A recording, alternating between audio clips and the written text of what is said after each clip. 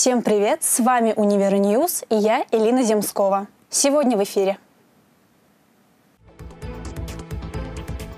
КФУ улучшил позиции в рейтинге QS. В Татаринформ состоялась пресс-конференция, посвященная серии научно-популярных лекций КФУ. В КФУ прошел кастинг телеведущих «Универ ТВ-2019». Казанский федеральный университет значительно улучшил свои позиции в рейтинге Quacquarelli Siemens среди вузов Европы и Центральной Азии. По сравнению с прошлогодними показателями университет поднялся на 6 пунктов. Более подробно смотрите в следующем сюжете.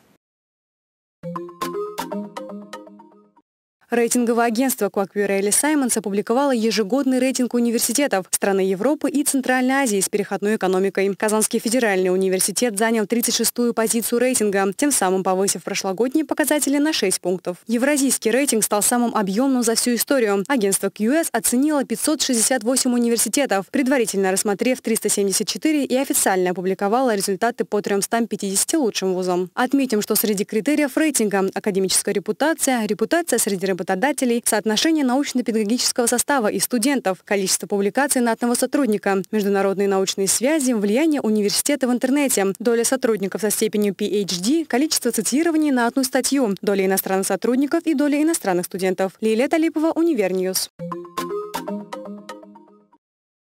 На телеканале «Универ ТВ» прошел первый этап кастинга телеведущих – Показать себя пришли студенты разных институтов и факультетов Казанского федерального университета, а также из других вузов Казани. Подробности в сюжете Анны Глазуновой.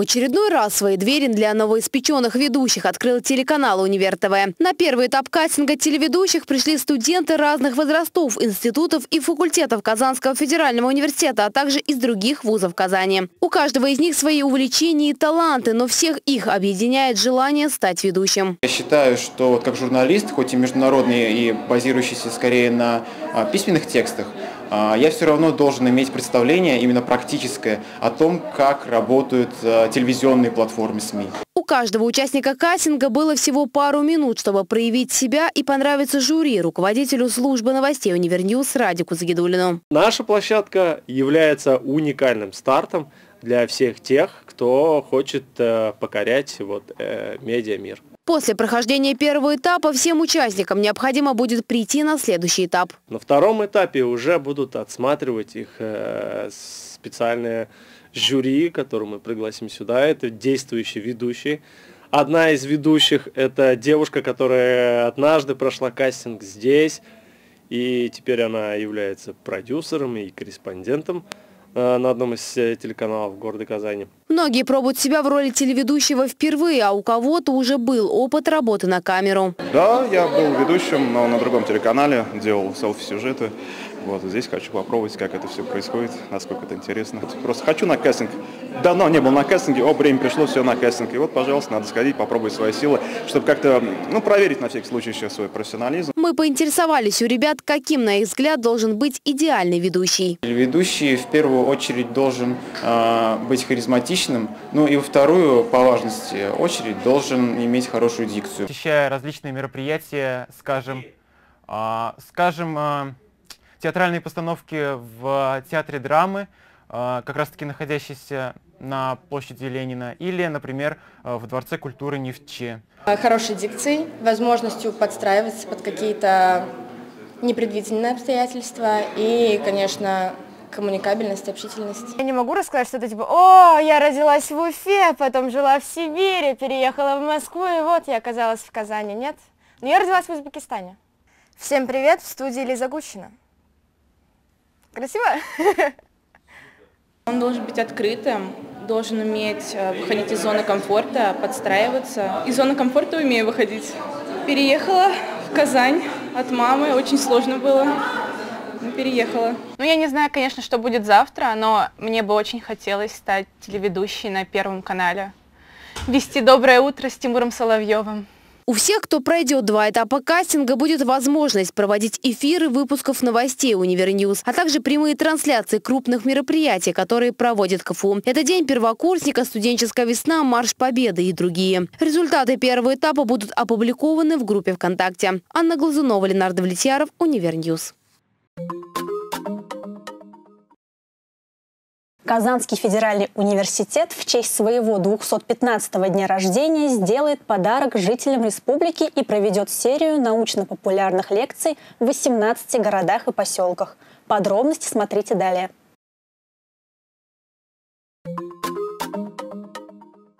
15 октября в информационном агентстве «Татар-Информ» состоялась пресс-конференция, посвященная серии научно-популярных лекций Казанского федерального университета, приуроченных к 215-летию КФУ «Научный десант». А наше руководство в лице Ильшата Равкача Гафурова а, проявило инициативу в преддверии празднования 215-летия юбилея Казанского университета, который состоится в ноябре, в рамках многочисленных действительно мероприятий, конференций, концертов, фестивалей, такую, такая инициатива последовала, как проведение научного десанта. Мы вывезем э, наших ученых, наших спикеров, лекторов, а, молодых ребят, молодых ученых уже в регионы. Научный десант КФУ – это научно-популярные лекции, выступления творческих коллективов, консультации приемной комиссии, интерактивы, среди которых викторины, профориентационные мастер-классы, опыты и эксперименты. Программа научного десанта состоит из уже проверенных интерактивов,